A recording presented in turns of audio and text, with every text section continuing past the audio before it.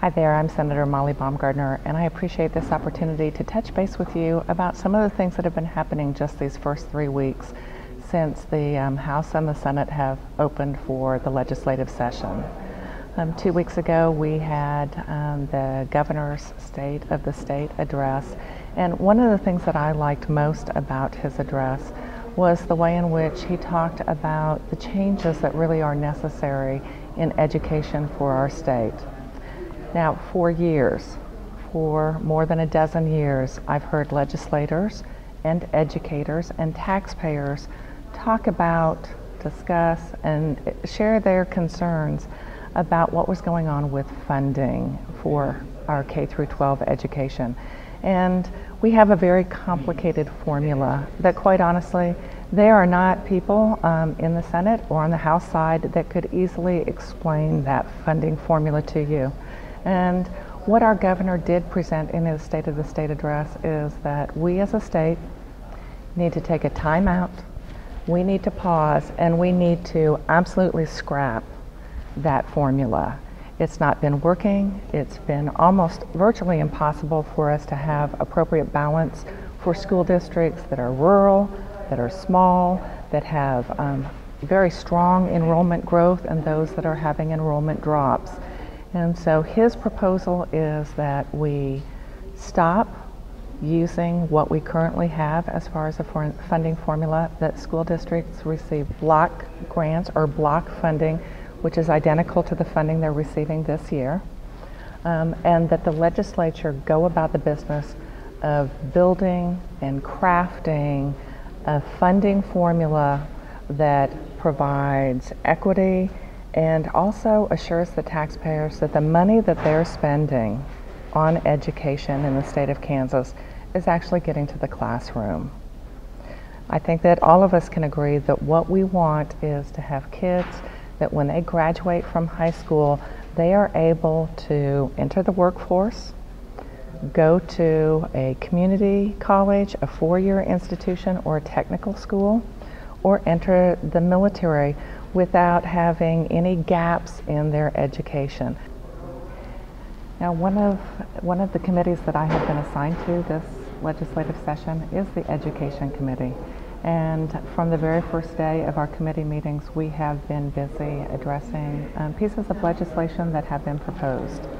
Um, three pieces of legislation I want you to be aware of. Uh, Senate Bill 2 is a piece of legislation whereby school districts can actually offer teachers that have been teaching in the district for a period of time two-year and three-year contracts. And I think that that is, is an has the potential of being quite ideal for smaller school districts being able to retain those teachers that they have oftentimes had difficulty filling their particular positions. Uh, two other bills that we're looking at, Senate Bill 32 and 33, have to do with a requirement that every school district in the state have to do an annual audit of how exactly how they are spending their money, and, and that audit has to be turned into the state. So I think that's important. Um, the other bill is for a committee to be formed to really set the requirements for how do we evaluate, first of all, what are the Rose standards and how do we evaluate those Rose standards? Because again, what I have heard from taxpayers, what I've heard from voters, um, from teachers, from educators and administrators, is that the money being spent, they want a sense of accountability and they want to be able to show um, that the students are performing at the levels that we expect of them. There are two pieces of legislation that I have actually sponsored so far.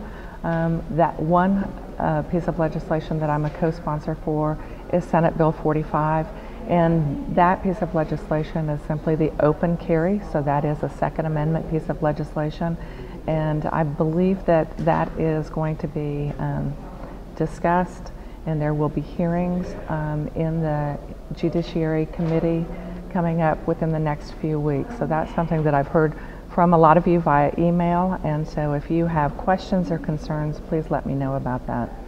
The other piece of legislation that hasn't been assigned a Senate bill number yet but it, it is an abortion piece of legislation and it, that is that we will eliminate um, the, the abortion that is being performed in, on women that are in their second trimester. It is considered an extraction abortion. And what most people don't realize is that particular type of abortion is performed roughly 11 times every week. So more than 700 infants in that second trimester are being aborted in this manner. And so that is a piece of legislation that, that I was happy to say that yes, um, I was going to support um, in its introduction. So again, these are just several of the pieces of legislation that I've already gotten to work on. If you have any questions about any pieces of legislation that have been offered, if you have any concerns about what's happening in your particular area, at your school, um, in your community, please give me a call or send me an email and my office will address your concern and we'll, we'll do whatever research or provide whatever assistance we can. Thank you so much for listening.